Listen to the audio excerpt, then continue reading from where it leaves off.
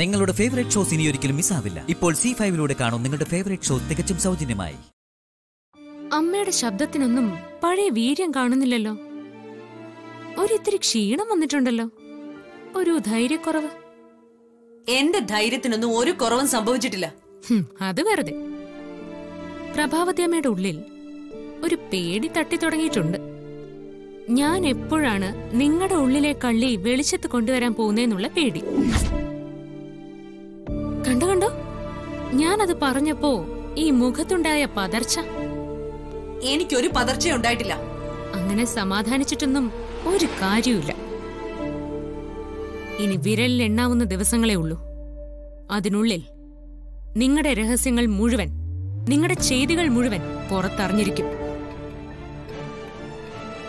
ഞാൻ പറഞ്ഞതുപോലെ വിശാൽ സാറ് നിങ്ങളുടെ കഴുത്തിന് കുത്തിപ്പിടിച്ച് പുറത്തേക്ക് വലിച്ചെറിയും. നിന്നെ ഞാൻ ഒന്നും ചെയ്യാൻ പോകുന്നില്ല. തടയാൻ പറ്റുമെങ്കിൽ തടഞ്ഞോ?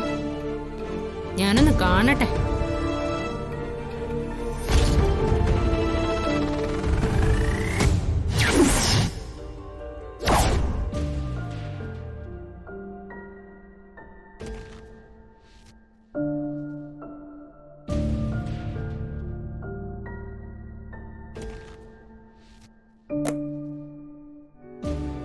വിപിൻ സാറേ.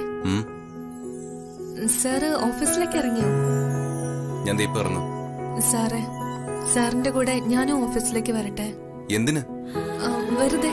വെറുതെ? പല്ലവി എനിക്ക് ഓഫീസിൽ ഒത്തിരി ജോലിയുണ്ട്.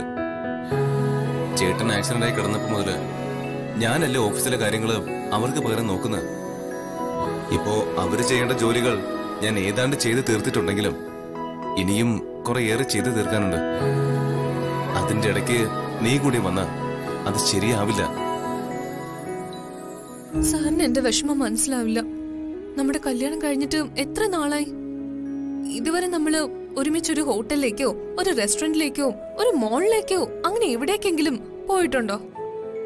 ഒന്നുമില്ലെങ്കിലും ഒരു ബീച്ചിലെങ്കിലും പോയിട്ടുണ്ടോ? അല്ല അവിടെയൊക്കെ പോയിട്ട് നമ്മൾ പ്രത്യേകിച്ച് എന്ത് ചെയ്യാനാ? വെറുതെ അവിടെ ഇവിടേക്ക് ഒന്ന് കറങ്ങി നടക്കാന്നല്ലേ ഉള്ളൂ. അതൊന്നും എനിക്കറിയില്ല. സാർ എന്നെ ഇതുപോലെ ഏതെങ്കിലും ഒരു സ്ഥലത്തേക്ക് കൊണ്ടുപോയേ മതിയാവും. അവിടെ ചെന്നിട്ട് എന്ത് ചെയ്യാന്നല്ലേ?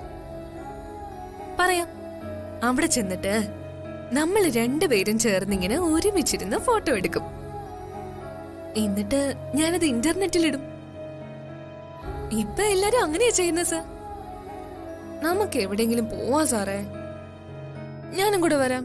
പല്ലവി ഓഫീസിലെ ജോലി മാറ്റി വെച്ചിട്ട് ഒരു പ്രോഗ്രാമും ഇല്ല.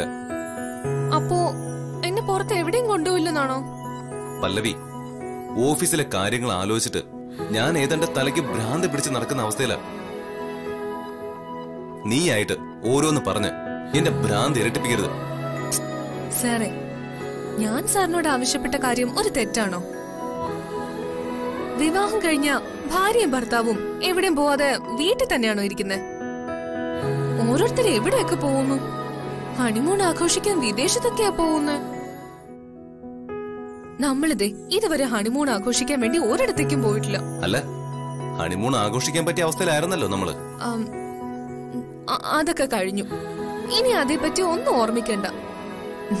നമുക്ക് ഇനിയുള്ള കാര്യത്തെക്കുറിച്ച് ചിന്തിക്കാം. നീ അങ്ങോട്ട് മാറിക്കേ.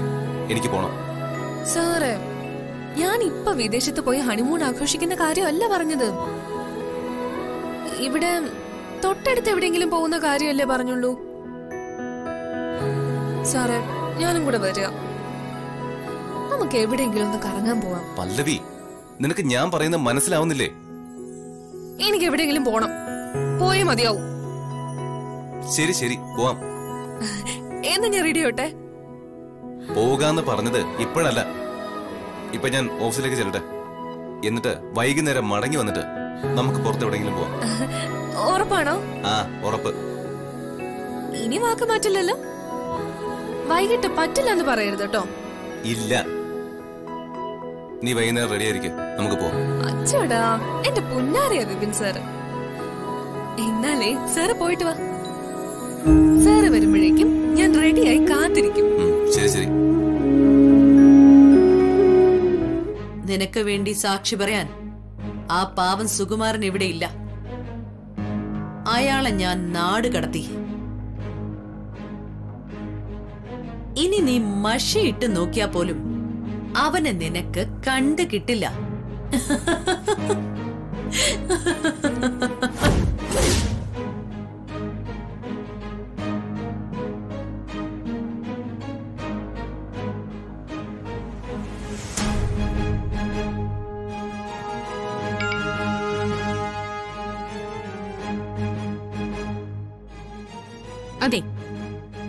ചിരിയും അട്ടഹാസമൊക്കെ കഴിഞ്ഞെങ്കിൽ ഈ മൊബൈൽ എടുത്തൊന്ന് നോക്കണം.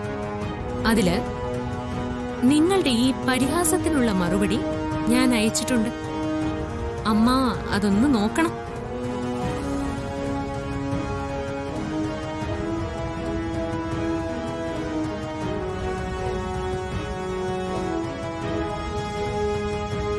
എന്റെ പേര് സുകുമാരനെന്ന്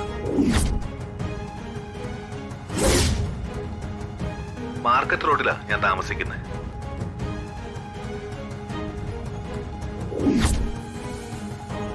അതിനടുത്ത് തന്നെ ഒരു സ്റ്റോറും ഞാൻ നടത്തുന്നുണ്ട്.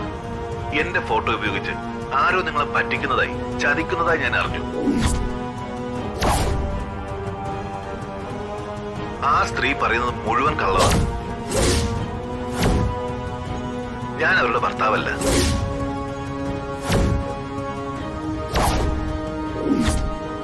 ഞങ്ങൾ തമ്മിൽ വിവാഹം കഴിച്ചിട്ടില്ല. കണ്ടിട്ടുമില്ല.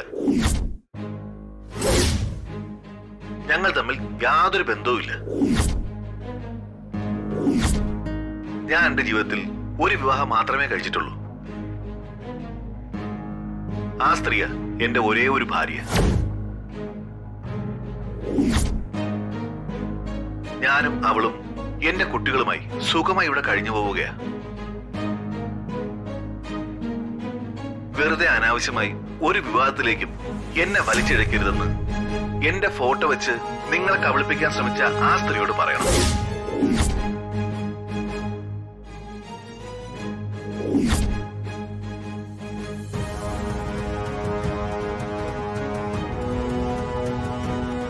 എങ്ങനെയുണ്ട് ഈ വീഡിയോ എന്റെ കയ്യിലുള്ളിടത്തോളം കാലം നിങ്ങൾ സുകുമാരൻ എന്ന ആളിനെ നാട് കടത്തിയാലോ? ചന്ദ്രനിലേക്ക് അയച്ചാലോ? ഇനി ബഹിരാകാശ പേടകത്തിൽ കയറ്റി ശൂന്യാകാശത്തേക്ക് അയച്ചാലോ? എനിക്ക് ഒരു പ്രശ്നവുമില്ല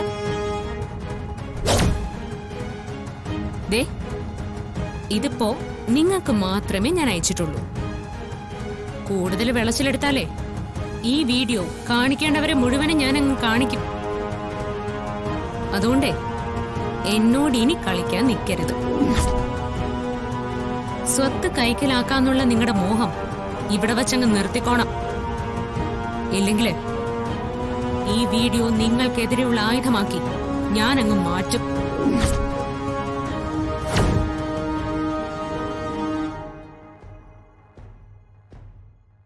ഡൗൺലോഡ് ചെയ്യൂ സി ഫൈവ് ആപ്പ്. കാണൂ എല്ലാ എപ്പിസോഡുകളും സൗജന്യമായി.